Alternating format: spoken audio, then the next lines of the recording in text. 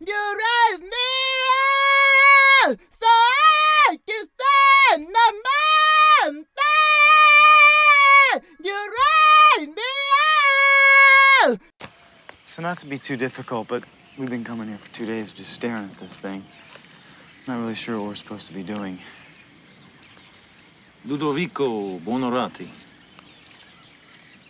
Michelangelo's father. He was a wealthy man, had no understanding of the divinity in his son, so he beat him. No child of his was going to use his hands for a living, so Michelangelo learned not to use his hands. Years later, a visiting prince came into Michelangelo's studio and found the master staring at a single 18-foot block of marble.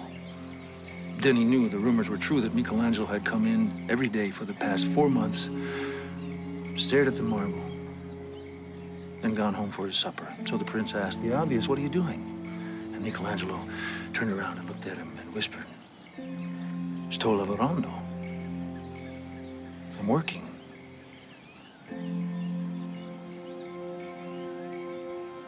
Three years later, that block of marble was the statue of David. So the prince asked the obvious, What are you doing? And Michelangelo turned around and looked at him and whispered, Sto lavorando. I'm working.